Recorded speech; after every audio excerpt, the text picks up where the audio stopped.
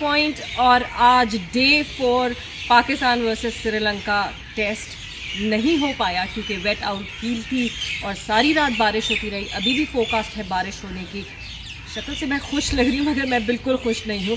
मौसम बहुत अच्छा है, इस वजह से खुश हूँ और थोड़ा सा शायद इसलिए कि इस्लामाबाद में मुझे घूमने का मौका मिलेगा, कुछ शॉपिंग करने का मौका मिलेगा, कुछ फ्रेंड्स एंड फैमिली से मिलने का मौका मिलेगा। मगर अगर पाकिस्तान श्रीलंका के टेस्ट की बात की जाए तो अब क्या हो सकता है? क्योंकि आज का तो पूरा दिन हो गया ज़ाया पिछले भी दो दिन जो है डे टू डे थ्री की जब बात करते हैं तो उस वक्त जो है आ, कुछ भी नहीं हो सका। थोड़ा थोड़ा मैच हुआ ना मोमेंटम रहा ना कुछ।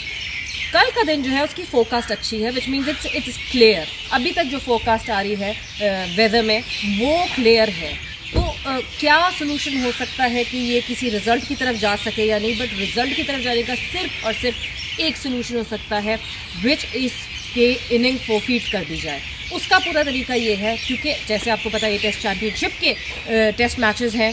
टोटल 120 पॉइंट्स हैं दो टेस्ट मैच के, यानी 60 60 टेस्ट मैच एक। मगर अगर ये टेस्ट मैच ड्रॉ होता है तो दोनों टीम्स को मिलते हैं 20 20 पॉइंट्स पर दोनों टीम में से एक टीम जो है, वो 60 पॉइंट्स भी हासिल कर सकती है। वो इस तरीके से कि अगर कल श्रीलंका अपनी इनिंग तो डिक्लेयर करता ही है, मगर अपनी इनिंग जो है वो एक फोर फीट भी करता है। और पाकिस्तान के साथ जो है ये अग्रीमेंट में आता है कि जो 283 उन्होंने बनाए हुए हैं, वो टारगेट जो है, वो अगर 80 ओवर्स में पाकिस्तान को दे देता है कि 283 का टोटल टारगेट है, जो कि 80 ओवर्स में पाकिस्तान कर ले बिकॉज़ कल के दिन में ऑलमोस्ट 80 ओवर्स हमें मिलेंगे तो आप फिर कहीं देख सकते हैं कि इस टेस्ट मैच का कोई रिज़ल्ट आ सके।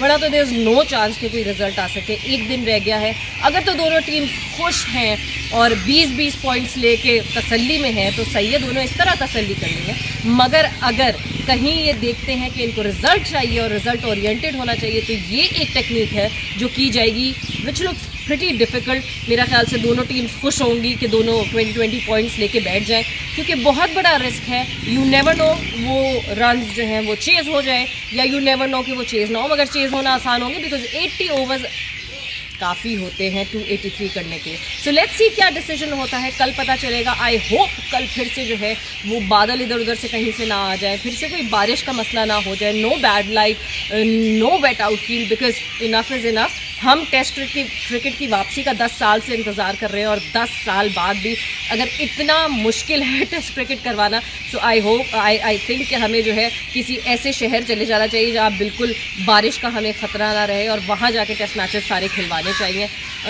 कल पता चलेगा कल क्या होता है क्या डिसीज़न लेती हैं दोनों टीम्स या फिर ऐसे ही गो विद द फ्लो चलता रहता है।